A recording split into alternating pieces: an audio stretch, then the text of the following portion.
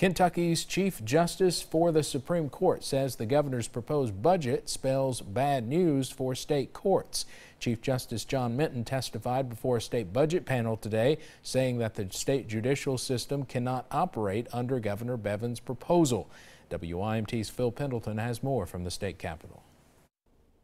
The House Budget Subcommittee is hearing from various agencies, departments, and the branches of government to determine the course of action as they deliberate the spending plan for the next fiscal year, which will take effect later this year and go until the year 2018. The Chief Justice of Kentucky says that if the current budget is adopted in its present form, then the state courts will not be able to perform all of their duties. Instead, Chief Justice Minton is asking lawmakers to support House Bill 306, which would increase the pay for Kentucky judges, which he says rank last among surrounding states and the nation as a whole.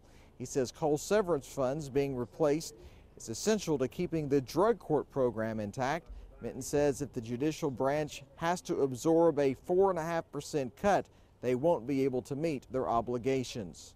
And would likely have to shut down the courts, the entire court system, for approximately three weeks between now and June 30.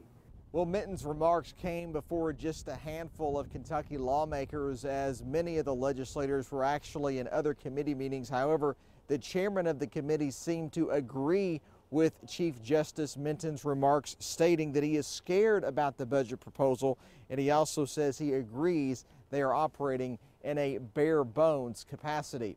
In Frankfort, Phil Pendleton, WYMT Mountain News. Minton told lawmakers that the budget cuts would also require them to lay off people, and he says they are already dealing with a 10% reduction.